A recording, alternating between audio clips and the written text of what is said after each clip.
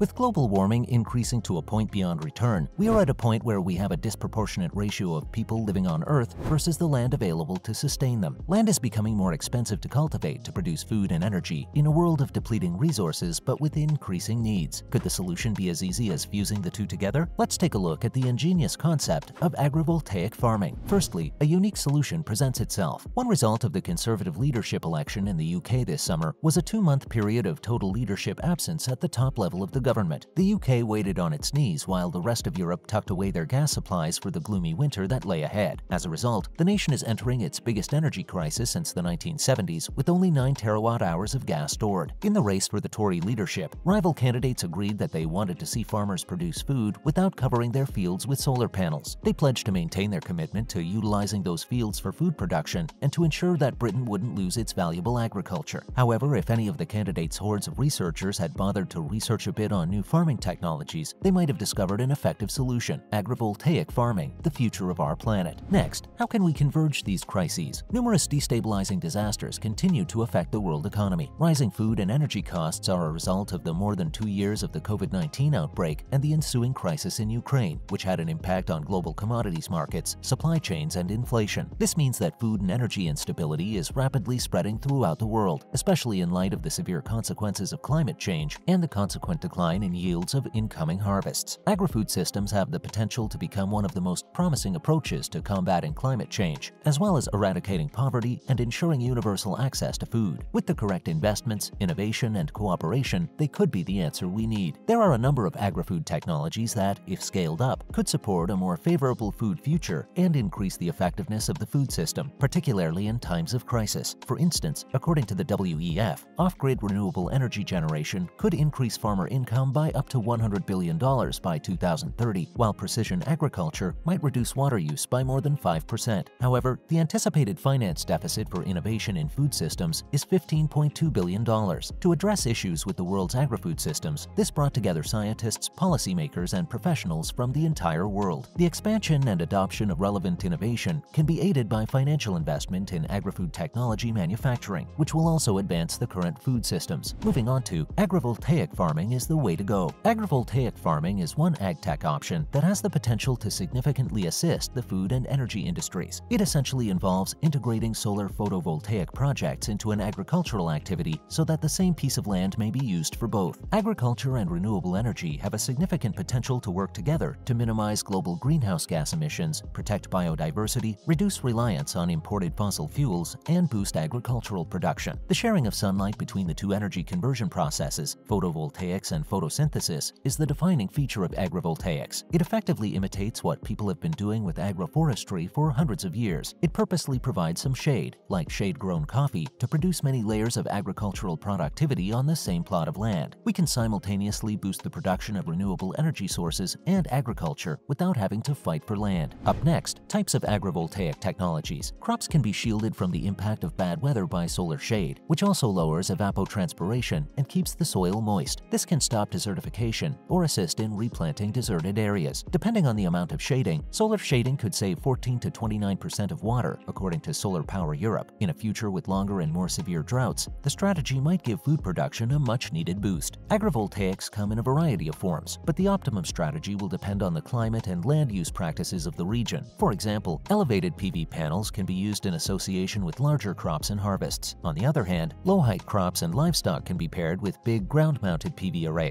By making it simple for animals to find shade and allowing for the planting of grasses between and beneath them for grazing, the panels can improve animal welfare too. Intentional provision of a range of ecosystem services is another potential presented by agrivoltaics. Some of the services it could provide are habitat construction, support for beneficial insects like bees, restoration of natural vegetation, and use of cover crops for soil health and carbon sequestration. Agrivoltaics, which involves strategically shading the ground, frequently makes the most sense in regions with an abundance of sunlight and a lack of water, such as the U.S. Southwest. Let's take a look at some examples of agrivoltaic projects. Throughout the U.S., there are numerous agrivoltaic projects. Researchers from the University of Maine are investigating the effects of solar panels set up across 11 acres of blueberry farming in Rockport, Maine. Farmers in Grafton are collaborating with the University of Massachusetts to determine which crops thrive in the shadow provided by solar panels. Growing crops between conventional utility-scale solar PV panels that are not elevated is being tested by researchers at Oregon State University, and Jack Solar Garden in Longmont, Colorado has become the largest commercially active agrivoltaics research site in the nation. One of the best examples of the strategy in Europe is an agrophotovoltaic demonstration project created by the Italian utility Enel Green Power. The testing that is now being done uses a range of solar technologies, panels, and configurations to assess the effects of various agricultural activities. The crops include food plants like vegetables and legumes, cosmetic plants like aloe, fodder plants, and flowering plants to draw pollinators,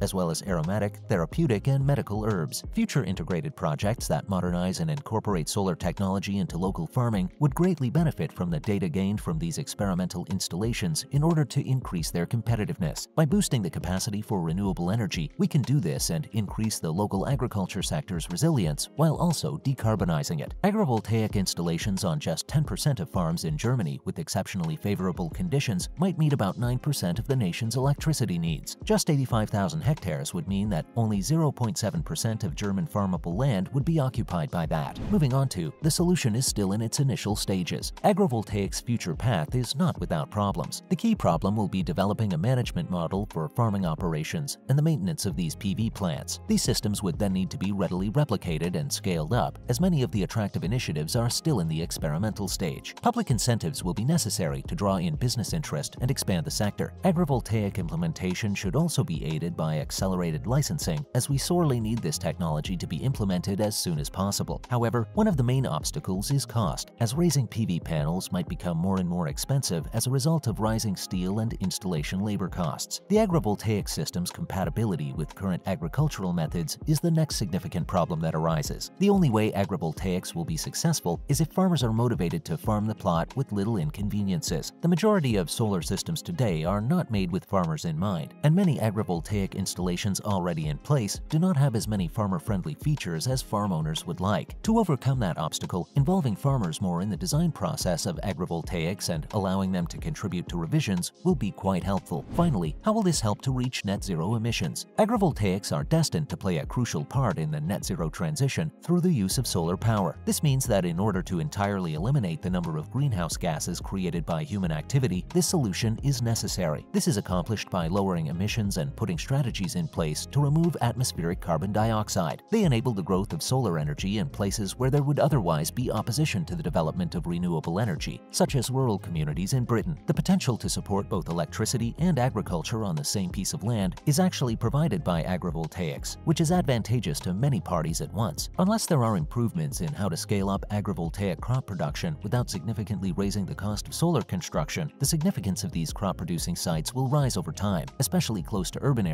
where the product can easily access upscale food distribution outlets. In conclusion, agrivoltaic farming appears to have a promising future. According to Solar Power Europe, AgriSolar's technological capability would be more than 900 gigawatts if it were just used on 1% of Europe's arable land. There is a tremendous possibility here, and the market is just getting started. That's a wrap for this video, and thanks for watching. What did you think of the agrivoltaic solution to the food and energy crisis? And should the world be adopting this strategy? Let us know in the comments below. Make sure to give this video a thumbs up and subscribe to our channel for more videos like this. See you in the next one.